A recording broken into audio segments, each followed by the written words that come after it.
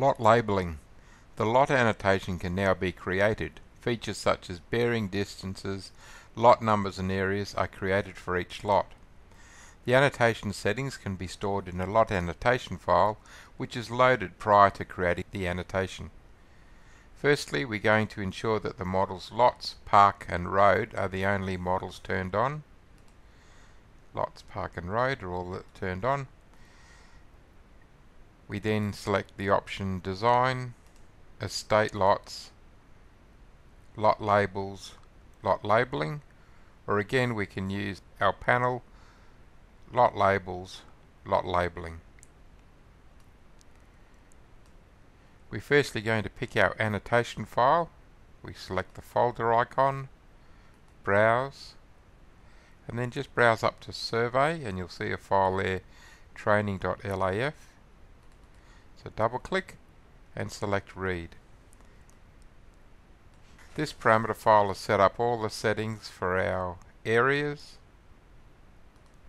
lot numbers, bearing parameters, distance parameters and a short segment parameters. So for the data we're going to select the lot type all types then we're going to select the view icon and then select view 1 and select process. If we go to our plus button we can then turn on the annotation models and select add. To ensure that the text is the correct scaling on the screen, we're going to go to our Properties button and change our settings and change our plot scale to 500 and press enter. If you then click finish, you'll see now that the text is at a much more readable scale.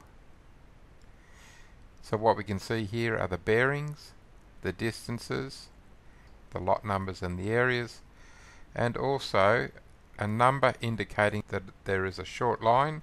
Create the short line table in a minute, referring back to this number. Right, we can finish on this option. Editing the text is quite easy. For example, we may want to move the road text into the road reserve area. So we simply use our text toolbar. We can select edit. We can pick and accept on the text.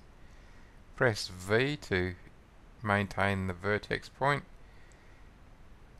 and we're just going to move it over into the road and accept press escape once the other thing you can do is in the text one is you can just use the option to move test text vertex so again we pick and accept and you can see that the anchor point is the where the insertion point was and accept some authorities require the the bearings to go around the lot in a clockwise direction.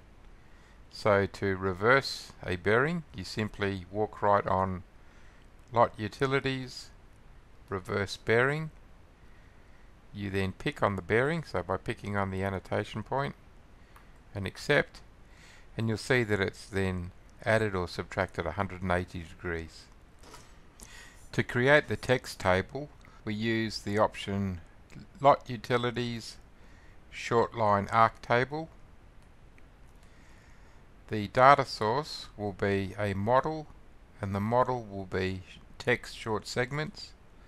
The table will be for lines. The model for the table we can just leave it at table. The text size will be 1 in world units. The text color we leave as red. The text style we can change to say ISO EQ. The text position, so this is the anchor point at the top left of the table, is here. We'll add to view 1 and select process. If we zoom in then you can see the the segment number, bearing, distance and what lot it relates to. Right, we can select finish.